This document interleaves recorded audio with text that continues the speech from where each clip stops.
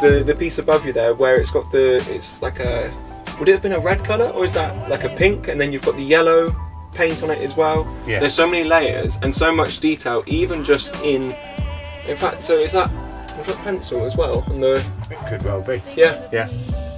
Yeah, from a see look now I'm, life. now I'm staring at a piece of wood on, the- on the ceiling going into great detail Yeah. on something that is uh, just the base layer and the background and essentially isn't important is now taking my eyes and my interest and yet there's so much other stuff There's around. layers, there's layers. Much as there is, as you say, the paint here, there's layers to this, and the more you look, the more you find. yeah you yeah know?